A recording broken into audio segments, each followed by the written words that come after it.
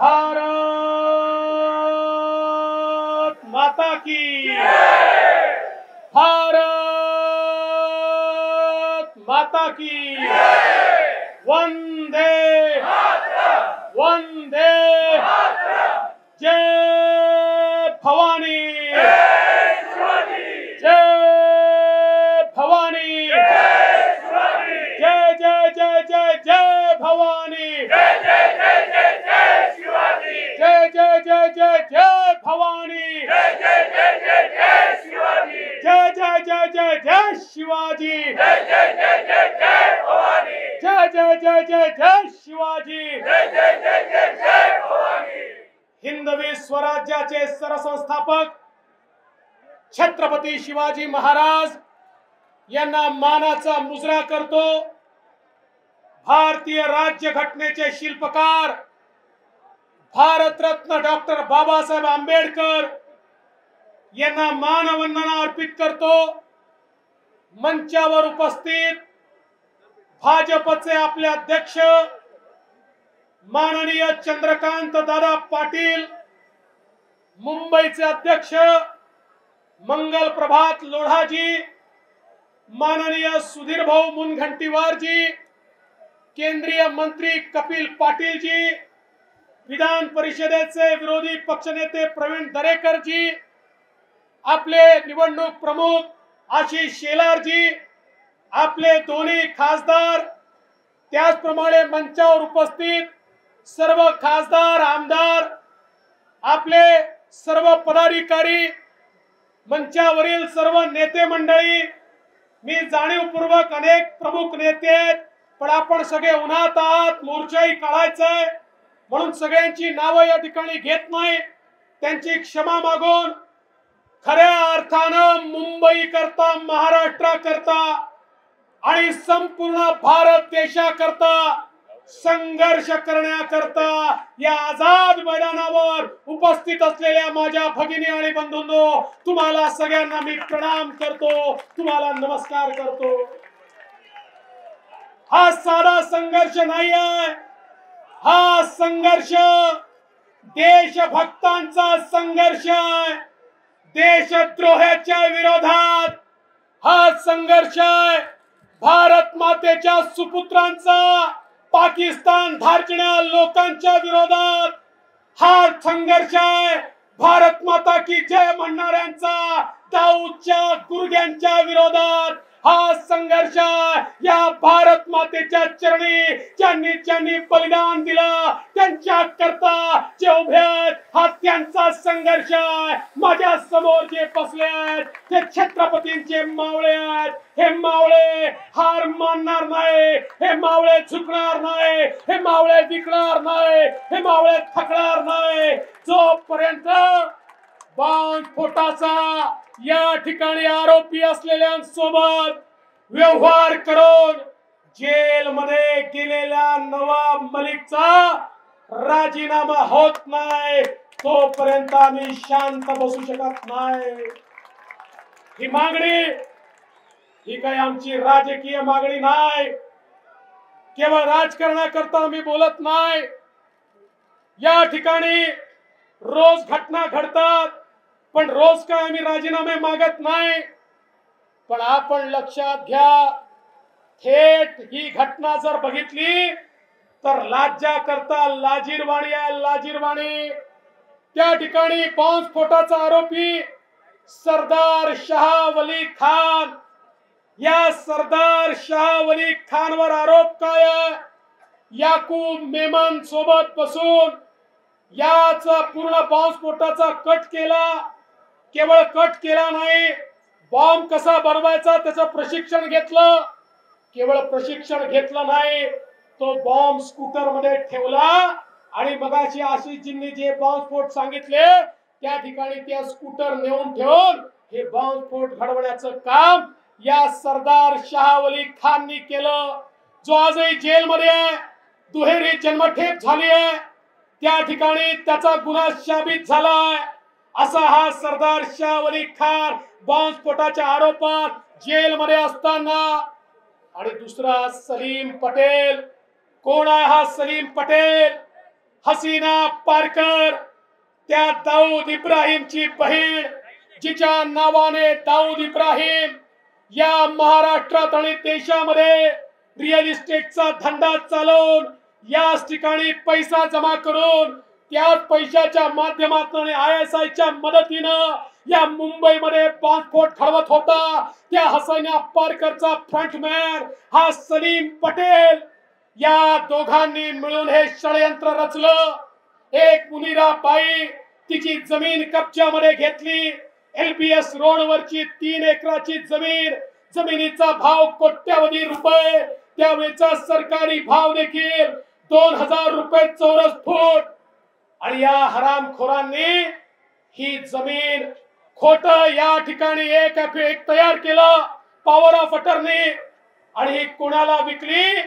ही जमीन विकली सॉलिडस इन्फ्रास्ट्रक्चरला कोणाचं आहे सॉलिडस इन्फ्रास्ट्रक्चर नवाब मलिक यांचं सॉलिडस इन्फ्रास्ट्रक्चर त्याने कोणाकडनं जमीन घेतली? जो व्यक्ती मुंबईमध्ये पासपोर्ट करून हजारो लोकांना मारून जेलमध्ये आहे अशा जेल मधल्या व्यक्तीकडनं या ठिकाणी तुम्ही जमीन विकत घेता. आणि किती रुपयाला घेतली? या ठिकाणी पंचवीस रुपये चौरस फुटानं तीन एकर जागा एलपीएस रोडवर या हरामखोरांकडनं या ठिकाणी नवाब मलिकांनी विकत घेतली. अरे मुंबईमध्ये एखादा व्यक्ती शौचाला रस्त्यावर बसला तरी देखील त्या जागेची किंमत ही पंचवीस रुपये स्क्वेअर फूटपेक्षा जास्त आहे. उकिरड्याची जागा देखील मुंबईमध्ये पंचवीस रुपये चौरस फुटाने मिळू शकत नाही. आणि पैसे दिले पंधरा रुपये चौरस फुटानं. माझा पहिला सवाल आहे तुम्हाला लाज का वाटली नाही? मी ते विक्री पत्र दाखवलं. त्या विक्री पत्रावर पहिला फोटो या हरामखोराचा हा जो शाह अली खान आहे दुसरा फोटो त्या दाऊदच्या सलीम पटेलचा आणि तिसरा फोटो नवाब मलिकच्या मुलाचा आणि तिघही त्याच्यावर सह्या करतायत. अरे लाज का नाही वाटली मुंबईच्या हत्यारांसोबत?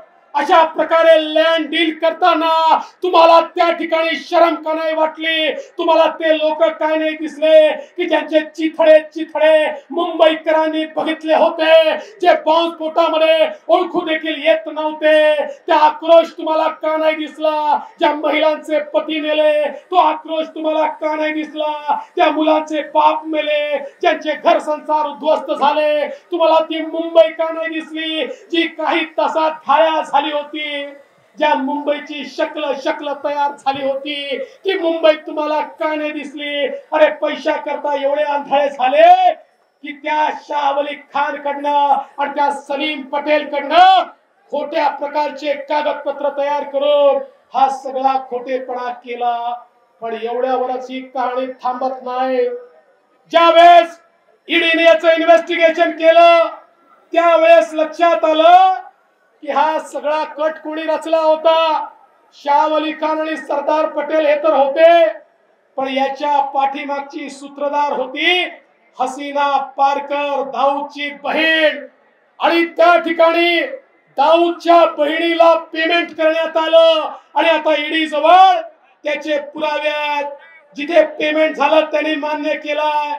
ज्यांनी पैसे नेऊन दिले त्यांनी मान्य केलाय. म्हणजे हा सगळा पैसा जो पैसा इथल्या जमिनीतनं काळा पैसा तयार केला हा पैसा काय हसीना पारकरनी कशा करता वापरला?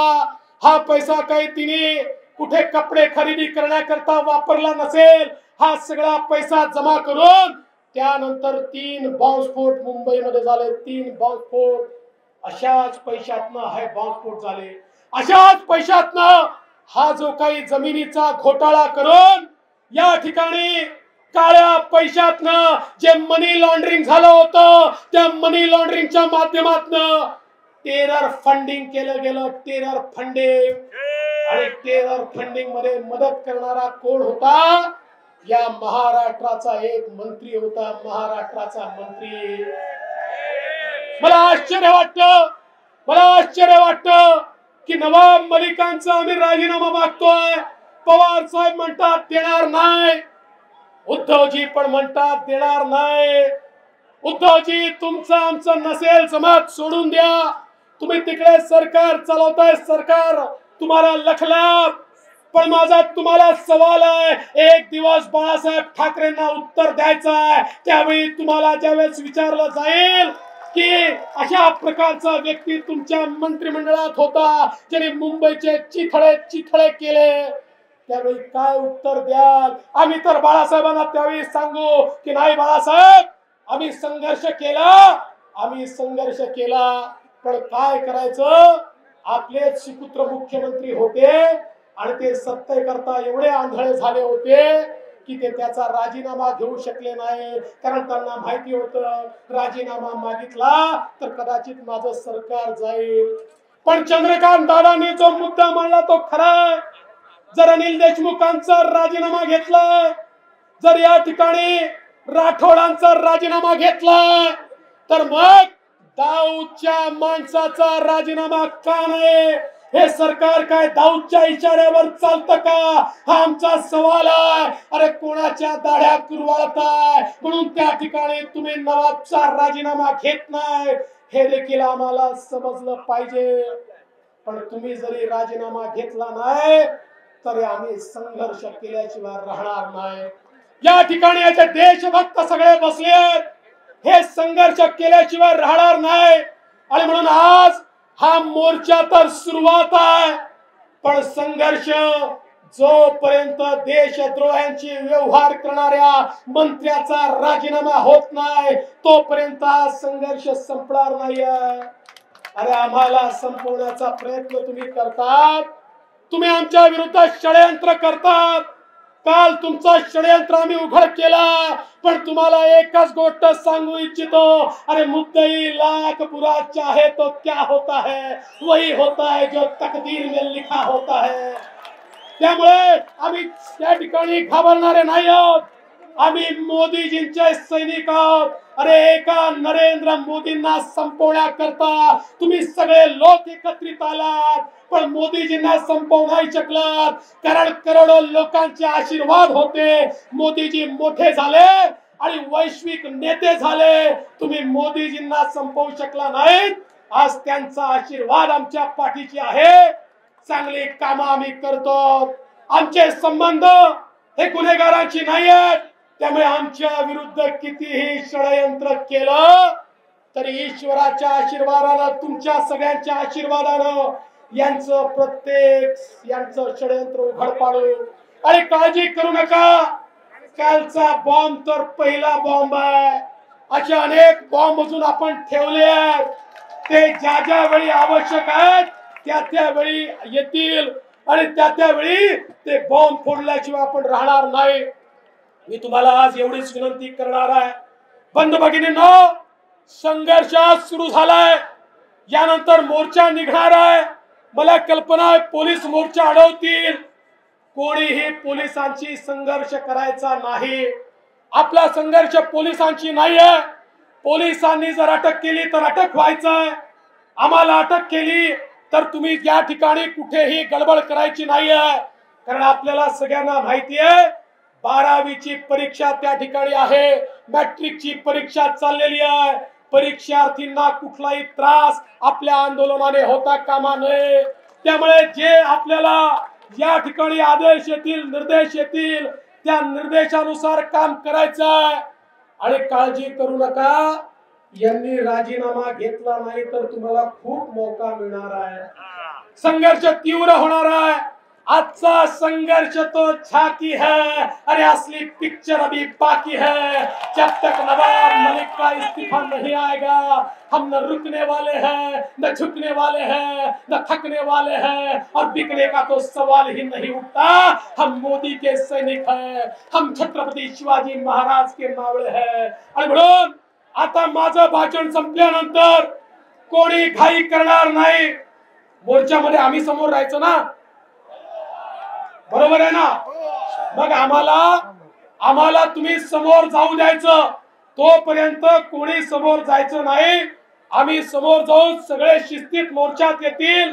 ज्या ठिकाणी मोर्चा अडवला जाईल त्या ठिकाणी पुढचे निर्देश तुम्हाला श्रीकांत भारतीय देतील. त्याप्रमाणे कारवाई करायची आहे. रस्ता रोको करायचा नाही. कोणी तोडफोड करायची नाही.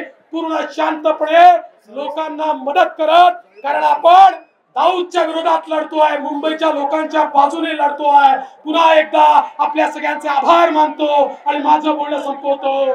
जय हिंद जय महाराष्ट्र. छत्रपती शिवाजी महाराज की छत्रपती शिवाजी महाराज की जय. भवानी. भारत माता की वंदे वंदे